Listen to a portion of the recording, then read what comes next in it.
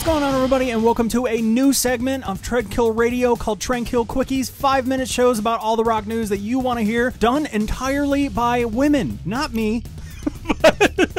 but Candy Brooks. and longtime fan favorite Michelle Burlingame. You've seen her work with me on a few episodes back in the day. She is back there going to be doing the shit entirely themselves. So let's just get it started.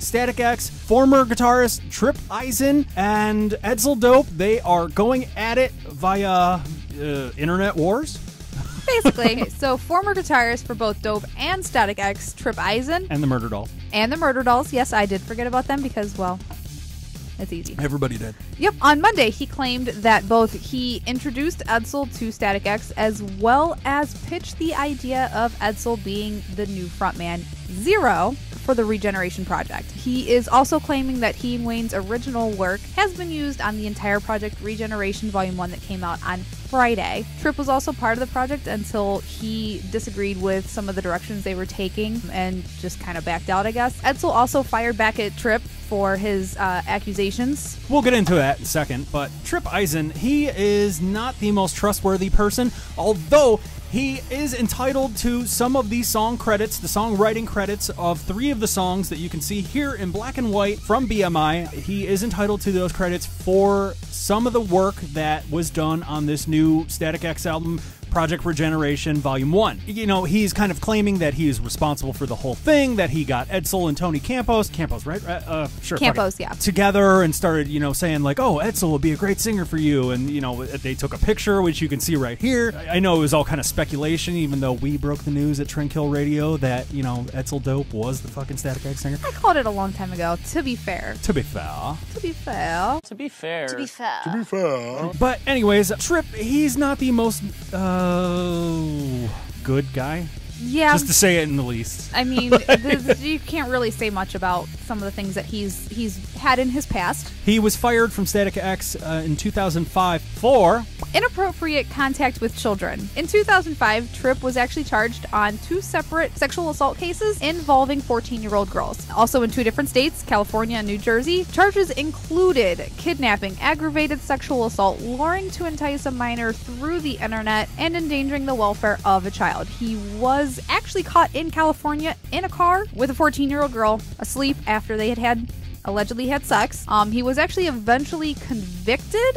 he lured me in with promises of candy and funny stories. He was also 39 at the time. Okay, so like I said, that Tripp, he is uh, alleging that he kind of started this whole thing. He brought Edsel along. He reunited the whole band after uh, Wayne Static had passed away in 2014. This whole thing reemerged in uh, 2016 to start the project Regeneration. Basically, what I've gathered about it is that they didn't want Tripp. Uh, no matter what he did on previous recordings of uh, you know his guitar work, Wayne Static's vocals, which were which span from numerous demos and stuff like that from all over his entire career. So uh, they just went like, no,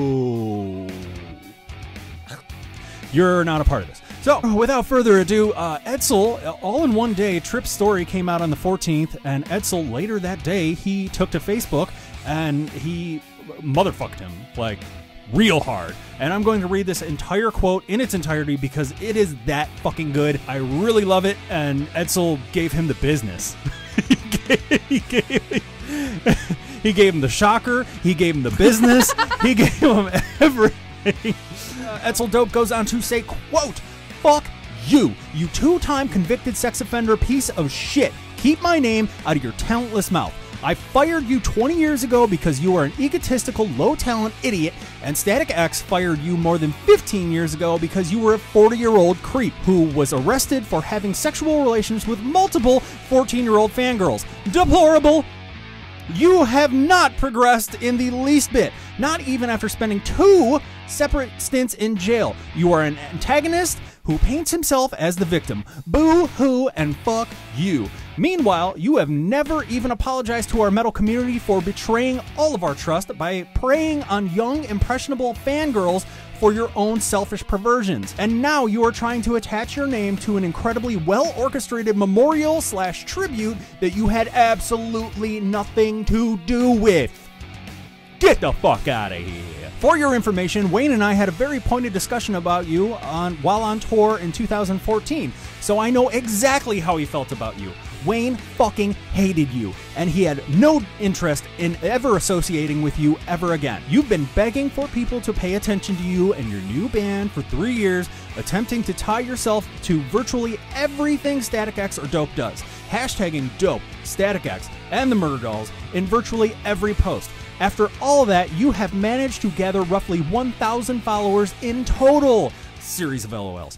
It's over, dummy. You will always be known as that 40 year old creepy guy with Lee press on dreads who targeted underage fangirls for sex.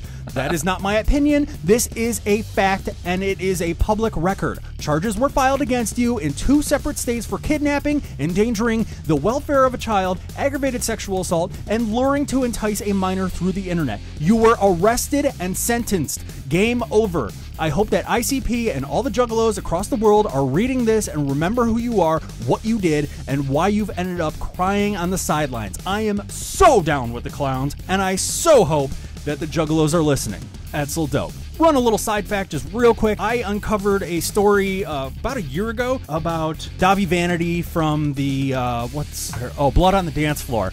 Um, that he is a total pederast, alleged pederast excuse me. Uh, I kind of brought that out, and uh, you know, I can't say that I'm the first one to have ever said that. He's had a lot of allegations against him. We'll just say that. Yeah, but uh, to, to my point, ICP just recently, just like last week, was like, "Hey, I want everybody searching for Dahvie Vanity. Make sure it's him, and give him the old Juggalo beatdown. Hurrah! Whoop whoop!" And uh, so, so like that's become a fucking thing. Who said Juggalos were bad guys?